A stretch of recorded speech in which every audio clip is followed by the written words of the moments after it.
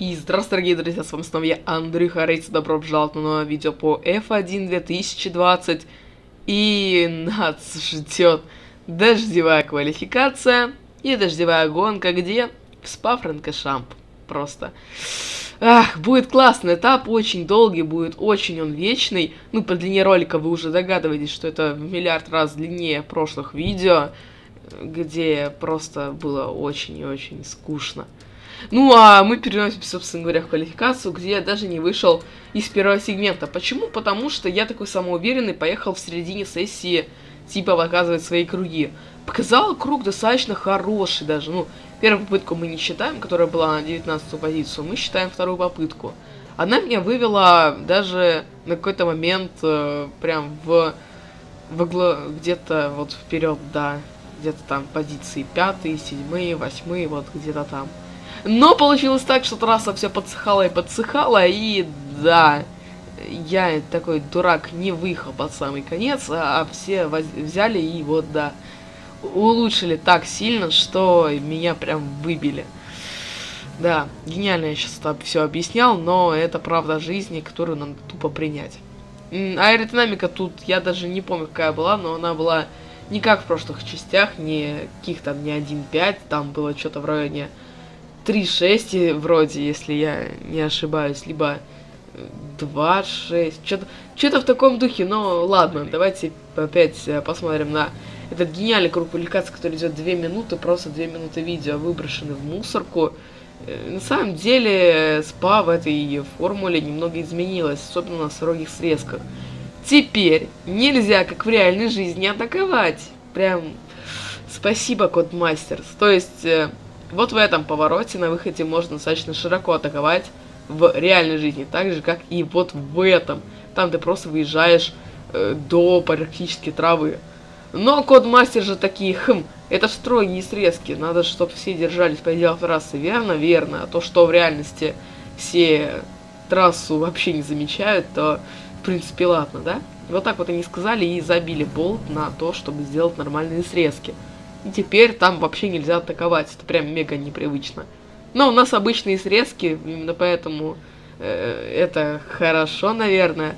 И завершая круг, э, круг меня вывел на позицию номером 8. Да, я думал, что я пройду дальше, но оказалось, что нет. Из-за этого я, конечно же, взял новую силовую установку, коробку передач и отправился, собственно говоря, стартовать. На поле у нас стартует Валттери Боттас, дальше у нас Себастьян Феттель и Шарль Леклер. За ними стартуют Льюис Хэмилтон, Алекс Албон, Даниэль Рикардо, Карлос Сайнс, Серхио Перес, Пьер Гасли, Эстебан Окон, Антонио Джовинацци, Даниил Квят, Макс Верстаппен, Ландо Норрис, Лэнс Стролл, Кевин Магнуссен, Кими Райкин, Роман Грожан, Джордан Кинг Джордж Рассел и Николас Латифи, ну и я замыкаю топ-10. У нас также неудачная квалификация была у Норриса и у Ферстаппина, так что я не один такой неудачник. По тактике берем медиум на старт, чтобы 100% доехать до дождя, потому что, ну, на софте не факт, что дотянем. Ну и, собственно говоря, просто немного долил топлива и отправился, собственно говоря, стартовать. Ничего особенного, и это должно быть интересно.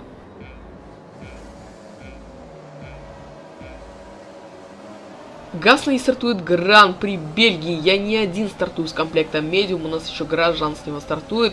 Пытаюсь влезть на внутреннюю траекторию, куда просто врывается Латифи. Я за ним, за ним и Рассел. Просто летят крылья. Ух, как интересно. Крыло от Racing Point застревает у меня в переднем крыле, когда пытаюсь его взбросить. Но это никак не получается. И я заметил, что это даже немного влияет на поведение машины. Рассел чуть меня не убил, оттормозившись в красной воде, мне пришлось срезать. И я уже вышел на 17 строчку, потом вышел на 16 потому что пытаюсь пройти Лэнса Строла. И все-таки поздним торможением, учитывая то, что у него сломанное крыло, я его прошел. О, это было очень жестко, очень интересно. Старт был прям мега, мега странный. Ладно, э, у нас во главе пилотона вели борьбу Феттель с Ботасом, которые тоже стартовали с медиума, кстати. И позади них на софтах ведут борьбу э, Шарли Клер и Льюис Хэмилтон. Э, они едут бок о бок в Красную Воду, угу, удачи им там поместиться хотя бы на андерстире машины. Э, ну, а Феттель пытается, как в 18-19 годах, пройти тут Мерседес на первом же круге, кстати. И у него это по внешней траектории Поначалу я думал, не получится, но потом это превращается в внутреннюю. Он практически поравнялся, но все-таки не смог он дожать Ботаса. А вот Леклер смог. Леклер смог дожать э, Хэмилтона. Но Хэмилтон не сдается ж, правильно? Это же у нас Льюис Хэмилтон. Он удерживается на внешней траектории. В последний момент залезает в базу к Леклеру. И получается так, что у него из этого получается хуже выход. И там уже пытается атаковать э, Льюиса Албан. Кстати, да. Льюиса Албан, здорово. Ладно, но там до контакта дело не дошло. И продолжаю свой первый круг. На медиуме было очень сложно поначалу ехать, потому что он прям очень сильно скользил. Это было мега непривычно. Но передо мной борьба продолжается у э, многих пилотов. Я на 16 позиции вообще не помещаюсь в повороты, потому что то ли не хватает аэродинамики, то ли чего-то еще не хватает. Вообще непонятно, как было управлять этой машиной в этой гонке. Ну, ладно, главное это терпеть до дождя. Подожду, надеюсь, будет ехать интересней. Ну, а вот тут вот как раз таки нельзя на 40 срез, как, я выехал, выезжать, а в прошлой формуле там просто до гравия доезжаешь, тебе ничего не сделают. И пытаюсь же на этом же круге атаковать и Норриса, и Латифи впереди. Пытаюсь как-то их пройти сначала по внешней траектории, это у меня получается залезть к Ландо Норрису, и потом по внутренней траектории пытаюсь бок о бок поместиться с Латифи, и у меня это получается. На внешней траектории я разгоняюсь лучше и выхожу уже на 14 позицию. Но надо еще доехать к Максу Верстаппену, чтобы не выпасть из зоны ДРС. Также у нас сходит Кими Райкконен. Он на прошлом этапе сошел, он и на этом этапе сходит. Так что для Кими это явно неудача. Он еще так прикольно заехал в зону безопасности, так еще немного подпрыгнул в дрифте, проехав. Прям меня это очень сильно забавляло. Ну и на пятом круге я уже прям позади Макса Ферстаппина. Долго я за ним тусил. ЕРС, в принципе, можно было достаточно хорошо экономить в втором секторе. Ну и тут вообще не понял телодвижение от Ферстаппина, когда он сместился в меня. Может и я в него немного сместился, но у него там было дохрена места. Ну, короче, спорный инцидент. Наверное, все-таки виноват там я. Ладно, э, я, получается, срезал трассу, но от этого только проиграл. На этом же круге атакую и Акона, потому что он мне открыл э, тупо внутреннюю траекторию, что просто нельзя, чем нельзя было не воспользоваться. И я уже вышел на 12 позицию. На шестом круге начинаются у нас пидстопы, и несмотря на то, что скоро у нас дождь, э, все переходят на хард. Так, э, я выхожу уже на седьмую позицию, на следующем круге у нас продолжаются еще и пидстопы, я выхожу уже и на шестую позицию. Кстати, пытался атаковать Данила Квята на этом круге, но ничего не вышло. Э, как я и говорил, продолжаются пидстопы, Леклер у нас переходит также на хард, и я уже на шестой позиции. А дождь у нас, э, я сто процентов до дождя дотяну, потому что этого комплекта круга до 16 100 прос хватит. Ну и на восьмом круге уже начались первые капли, начало, стало ехать достаточно сложно уже. И я решаю заехать за промежутком, потому что один круг по спа это просто вечность. Если на этом круге уже начнется достаточно сильный дождь, то я просто в такой огромный плюс выйду, что прям, ух, очень сильный плюс это будет. А, собственно говоря, достаточно быстрый пидстоп, я удивился, 2 секунды, и перешел на промежуток, когда все переходят на слик. Ну и было достаточно сложно поначалу ехать, потому что резина немного грелась, но уже со второго сектора я начал догонять Пьера Гасли. И, собственно говоря, за ним я и проехал весь этот круг. Мы вдвоем прошли вроде Герасла, если я не ошибаюсь. Ну и на этом же круге все полетели на пидстопы. Прям гениально я заехал, все переходят за промежутком, и, и я, в принципе, ничего не отыграл даже. Я выезжаю на своей же шестой позиции, и продолжаем мы ехать. Так продолжалось достаточно долго. Я даже попытался немного атаковать э, Данила, Тявята, но это не увенчалось никаким успехом. Поначалу было вообще вот так вот очень сложно ехать. Я даже срезал поворот, потом чуть, чуть не убрался. И, подрубив все режимы, хотел э, атаковать Квята. Кстати, ДРС еще не запретили, но, опять-таки, ничем хорошим это не кончилось. И мне потом, кстати, обломали ДРС. Да, очень забавно. На 15 круге у нас сходит Джовинацци. Э, прямо передо мной. Я поднимаюсь на пятую позицию, но Макс Верстаппен за мной просто его добивает. И из-за этого выезжает машина безопасности. Дождь все это время только усиливался и усиливался. После рестарта я уже понял, что надо было заезжать за дождевым комплектом. Ну и на 20 круге начался тот самый адский цилиндропляс. Уже 10 секунд до Данила Кэта, потому что боты едут просто адски по таким условиям. Я не могу держаться на трассе вообще. Э, тут Льюис слов за сломанным крылом. Или Клер куда-то пытается засунуться. Я обороняюсь как долбик сраный какой-то, вообще не понимаю зачем. Э, и вообще это было очень сложно, очень сложно было ехать, э, учитывая то, что мне еще приходилось ехать вне траектории. Я поначалу все-таки защитился, и на 21 круге уже Льюис Хэмилтон предпринимает еще одну попытку меня атаковать. У них намного лучше разгон. Я пытаюсь хоть как-то удержаться на трассе, а он зачем-то лезет в красную воду бок о бок. Мы, конечно же, не помещаемся. Из-за этого меня проходит и Леклер. Льюис Хэмилтон проигрывает достаточно много позиций уже, и Ланда Норрис пытается меня атаковать. Просто что за трэш творится? У меня резина просто в хлам остыла. Уже там почти, можно сказать, я еду на сликах, потому что задних уже нету.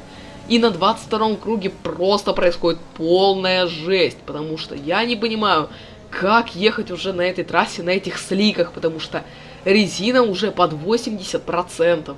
Я не понимаю, вот вообще, надо было все-таки заезжать за дождевым.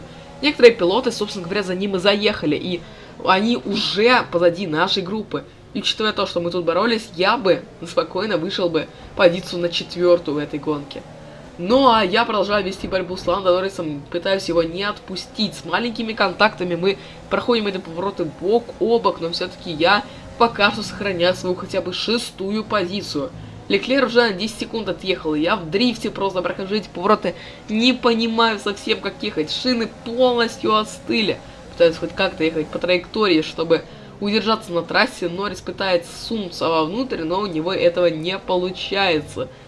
Просто какой-то цилиндропраздник происходит у нас у всех, я не понимаю, как, опять-таки, сотый раз повторю, что я не понимаю, как ехать в данных условиях на данной резине. И вообще еще по 5 секунд с круга сливать квиату. Ладно, Ланда Норрис пытается опять меня атаковать, одна десятка между нами. Учитывая то, что у меня достаточно плохие проходы поворотов, он меня пытается атаковать, выжимает всю свою обгонную кнопку, в принципе, как и я. Суется куда-то на внешнюю траекторию, задевает траву и улетает в отбойник, разбивая свой болид за два поворота до финиша. Он выбывает, я не мог не нажать флешбэк, чтобы посмотреть этого. Он зацепил, к сожалению, траву и просто на фул скорости улетел в отбойник. Ох, это просто была гонка, не знаю какая, свинская, конечно, но очень интересно. Я довожу свою шестую позицию, и вот учитывая весь этот трэш, за этот ролик я ни разу не помянул, что я перекрасил наш автомобиль. Ливрея новая, также еще и на превьюшке, вот пилот получше, не как в старом комбезе. Короче, немного обновленный у нас вид болида, уже третий раз за сезон э, ливрея разная. Ладно, э, у нас, собственно говоря, очень вечные загрузки, я и просто это очень сильно люблю. У нас идет э, все так же дождь в боксах, прям баги такие же остались с прошлой формулы. Я просто удивлен, как я не разбился в этой гонке. Не, ну как бы я разбился, но существует магия флешбеков. Да, да, да. Э, ладно. Побеждает у нас Вальтери Босс, вторым доезжает у нас Себастьян Феттель, ну а третьим у нас доезжает Чека Перес. Э, кстати, новое, походу, я не помню, было ли это в прошлой формуле, но теперь почему-то некоторые механики стоят в куртках. Может быть, потому что, типа, стало холодно, все дела. Я не помню, было ли это в прошлой формуле, напишите в комментарии, э, но я был прям очень удивлен. Э, как я и говорил, у нас Вальтери Ботас должен сильно отрываться от Льюиса Хэмилтона. Льюис, кстати, за один круг до финиша заехал за дождевыми покрышками и к концу круга нас догнал. Прям очень забавно это было но он не набирает очков в этой гонке. А вот Бальтери Ботас, он э, побеждает в этом гран-при, и учитывая то, что после прошлого этапа у, на, у них э, было равенство по очкам, то после этого этапа Ботас будет единоличным лидером с огромнейшим преимуществом. Он еще и лучший круг забрал. А, э, как я и говорил, на подиуме у нас Ботас, Феттель и Перес. Дальше у нас Даниил Квят, Шарль Леклер, я на шестой позиции. Албан Рикьярда, потом у нас Карлос Сайнс и Эстебан Акон. В принципе, у многих тактика soft, hard, intermediate, но у э, многих тактика особо выигрышная, это софт э, с переходом на промежуток. Но все-таки, мне кажется, если бы под конец еще под safety car ом я бы перешел на комплект дождевых э, покрышек, то я бы выиграл намного больше. От меня отрывается в личном зачете, хотя на что я, на что я рассчитываю. Бот у нас 26 очков преимущества имеет над Льюисом Хэмилтоном. Перес у нас проходит э, достаточно много пилотов, аж целых два. Ну и Альфа Таури у нас проходит Альфа Ромео в Кубке конструкторов. Там у нас у Макларена Альфа Таури и Альфа Ромео достаточно плотная борьба. Ну, а с напарником э, я продолжаю как бы выигрывать соперничество. У меня 10 уровень пилота, у команды уровень 12. Э, ну и э, по соперничеству, собственно говоря, с Дэном Рикьярдо я его э, вроде выиграл. Также еще не завершил я 75 кругов за команду. Точнее, мы с Магнусом не завершили, потому что спа Франкоша. Да. Короче, ладно, прям протараторил я весь этот этап. У нас всего лишь два дня до уикенда в Монце. Монце, возможно, выйдет даже завтра. Я не знаю, как, как масть ляжет. Я вот вообще не понимаю, как я выпускаю видео, в каком графике. Когда могу, тогда и монтирую видео. Вот все такие вот дела, да. По шасси, опять-таки, у нас она провалилась вроде на прошлом этапе обновления, и его пришлось дозаказывать и из-за этого я не могу взять э, уменьшенный износ шин. Просто заказал аэродинамику, чтобы выровнять э, баланс аэродинамики, потому что у нас передняя аэродинамика прокачана лучше, чем задняя, а это сразу дисбаланс какой-то. По двигателю, в принципе, мы вторые, и пока что никуда мы больше качаться не будем, потому что двигателем я полностью доволен. Ну и на этом я, собственно, могу заканчивать. Всем огромное спасибо за просмотр. С вами был Андрюха Рейс. Всем удачи, всем пока.